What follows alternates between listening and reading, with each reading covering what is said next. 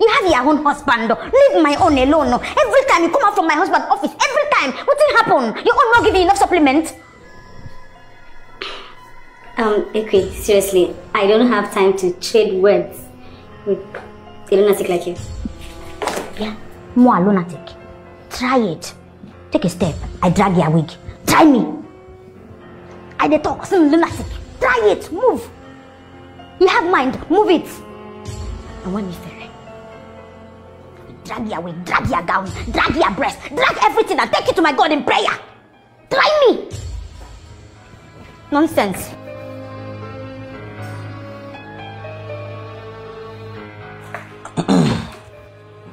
Nam. What are you doing here? Nah, I bring situation report. Where is my money? That man deny me, oh. You're gonna take that report back to your father's house. Eh?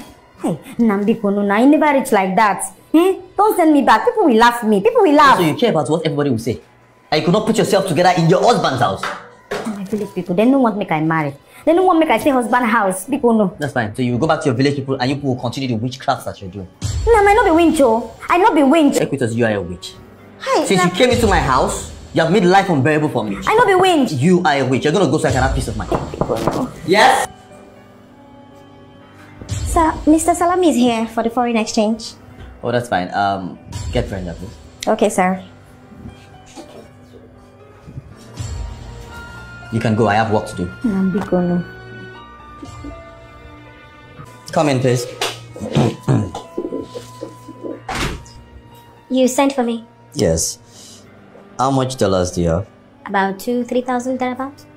Okay, that's an error. Um, please, I want you to meet with Mr. Silas for the foreign exchange. Let's get 1.4 million from the accountant and get the vehicle. The money you have with you, it's Uh, my wife, my shark of a wife swallowed it. Ekwi, what did you do with... And I don't call my name. Gini, Kwano. Put him out in husband and wife matter. Why?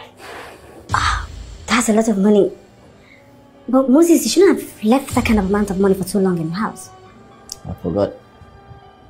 And I didn't know that I have a squander of a wife at home. But that's a lot of money for you to. I mean, what did you do with that amount of money? Nah, auntie, leave, leave, leave my name out of your mouth now. Don't you take your husband's money. Who fights you? No, I don't take my husband's money without his Eh, permission. because you have your money now. Tell him to give me money. I no go touch him own again. Well, I'm sorry to disappoint you. I work for my money, so I don't have to ask him. Nah, Michiono. Ewu na Aturu look alike, but two of them are not the same. You shut up. Mm. Ah, just ignore her.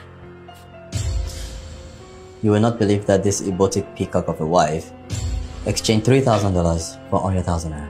What? Ekwi? Moses, whoever did this with her has to be arrested with immediate effect. Uh, she came back to tell me that the person denied knowing her or knowing any of that transaction. Ekwi? Well, by the time the person goes to the police custody, he must remember that's a lot of money. Bam. Let us arrest him. Let her shut up. One good thing that come out of your mouth. Did you die? Wow.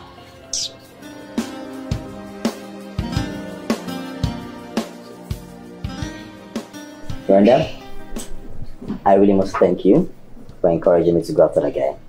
If not, he would have gone away with all the money. Well, we thank God the police acted very fast and the guy didn't see the arrest coming. Else he would have run away. Hi. Hi, Blenda, thank you. God bless you. Because if not for you, I for on the road to village now. thank you. Ekri, at least lesson learned. So next time, try not to touch your husband's money again without his permission. Okay? Next time, beg my husband not to hide money from me. Our two now one. My money now in money. He can spend my money anyhow he like. Me too. I can manage to spend his own anyhow I like. You know. Uh, na marriage, na so dem talk. Mm. Actually, Moses is not a stingy guy. Please tell her. Kabwaka gum.